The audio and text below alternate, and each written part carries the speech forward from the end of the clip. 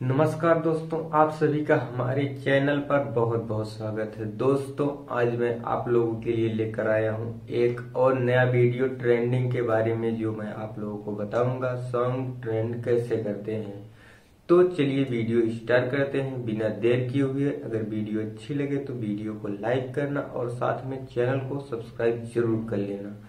तो स्टार्ट करते हैं हम अपनी वीडियो को। तो जैसा कि मैंने आज अपने यूट्यूब पर ट्रेंडिंग में गया ट्रेंडिंग में गया, मैंने तीन सॉन्ग पाए ऐसे जो आज यूट्यूब पर ट्रेंडिंग में चल रहे हैं। जैसा कि आप इस मोबाइल में देख सकते हैं। आप देख सकते हैं यहाँ पे जो एक पवन सिंह का गाना है, जो सबसे ऊपर ट्रेंडिंग में रैंक कर रहा है। दूसरा, अभी कल ही एक गाना आया है जो सिद्धार्थ मेहरोत्रा का है, जो अभी दूसरे नंबर पर रैंक कर रहा है। अभी 24 घंटे उसको आने में हुए हैं। और तीसरा गाना, एक कोई साउथ कोरिया से आया हुआ है, जो काफ़ी ज़्यादा परफॉर्म कर रहा है। 24 घंटे के अंदर अंदर उसने 50 मिलियन व्यूज़ एक्सेप्ट कर लिया, लेकिन वो फ़र्स्ट म्यूज़िक ट्रेंडिंग पे नहीं जा पा रहा है। तीसरे पे ये है।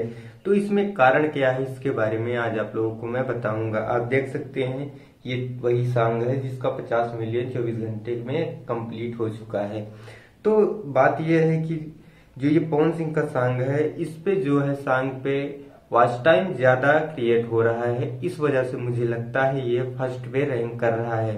व्यूज़ तो जो आ रहे हैं जेनुअन व्यूज़ उसकी बात अलग है। और जो यहाँ पे दूसरे नंबर पे रैंक कर रहा है, सिद्धार्थ मेहरोत्रा और नूरा फतेही का सॉन्ग ये इसलिए दूसरे नंबर पे रैंक कर रहा है क्योंकि अभी तक इस पे एडवर्टाइजमेंट किया गया था, जिसकी वजह से इतना फास्ट व्यूज़ इसने एक्सेप्ट कर लिया है अपने वीडियो में। जैसा कि आप देख सकते हैं, पवन सिंह का जो सॉन्ग इसमें 16 मिलियन व्यूज़ है अभी तक, जो कि तीन दिन हुए आए।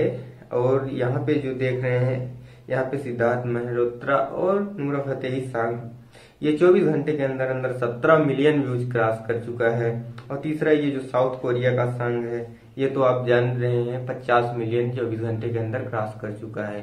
सिर्फ़ इसमें वॉच टाइम का फ़र्क होने के कारण ये जो वीडियोज़ हैं ट्रेंडिंग में ऊपर नीचे हैं, जो कि व्यूज़ कोई मायने नहीं रखता है, इस पर मायने रखता वॉच टाइम और वीडियो कितनी लंबी वीडियो है और कितना ज़्यादातर देर तक पब्लिक इसको देख रही है। तो पवन सिंह का जो गाना हो, काफ़ी अच्छा है, बेहतरीन है, इस पे वॉच टाइम मुझे भी उम्मीद है बहुत ज़्यादा मिल रहा है। इधर जो नूरा फतेही का गाना है ये गाना एक बार पहले से ही यूट्यूब पर आ चुका है।